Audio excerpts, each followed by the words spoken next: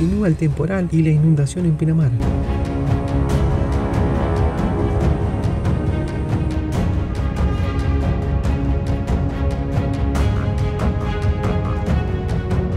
Dramáticas imágenes de la intensa lluvia en Pinamar causan conmoción en la ciudadanía. La fuerte tormenta no solo generó inundaciones y anegaciones en diferentes zonas del partido pinamarense, sino que también ocasionó importantes destrozos y daños con roturas de comercios, vehículos y calles. En el día después se pudo observar una cochera de un edificio en donde una de las paredes se rompió a raíz de la lluvia y la acumulación de agua, provocando que los automóviles que estaban allí estacionados quedaran literalmente bajo el agua y en su mayoría totalmente descompuestos, además de la cantidad de barro que arrastró el agua generando daños en los coches. Mientras tanto, en el transcurso de la mañana volvieron las lluvias y se extendió la alerta naranja en la zona de la costa atlántica con probabilidades de precipitaciones que rondan entre los 30 y 60 milímetros, sumados a los más de 200 que cayeron en la jornada de ayer. A tal punto la situación sigue siendo dramática que desde el Estado municipal y de manera conjunta con Defensa Civil se decidió evacuar a más de mil personas que corrían diversos riesgos. Uno de ellos fue en un comercio que se derrumbó a partir de la presión que generó el agua, ocasionando que esta estructura